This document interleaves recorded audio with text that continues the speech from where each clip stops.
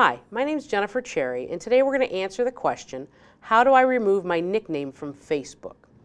So if you've logged into your Facebook account, you're going to look to the right-hand side, select the cog in the upper right corner.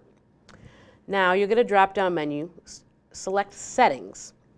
From there, you can select Name, and then click on Edit. Now, if you scroll down a little bit, you'll see where it says Alternative Name. Within that box should be your nickname.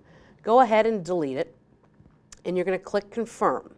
Now, Facebook's probably going to go ahead and ask you for a password. Go ahead and enter your Facebook account password, and then click Confirm again. And that's how you remove your nickname on Facebook.